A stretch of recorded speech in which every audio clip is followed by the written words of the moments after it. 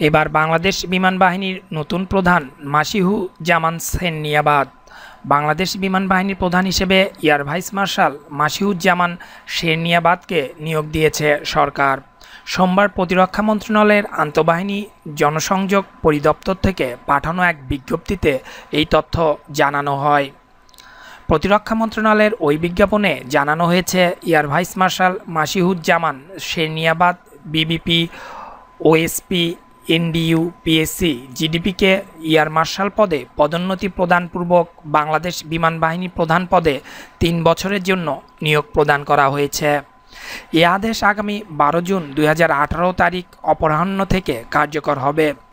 আগামী বারো June air marshal পদে পদোন্নতি পাওয়ার পর তিন বছরের জন্য এ পদের দায়িত্ব নেবেন তিনি।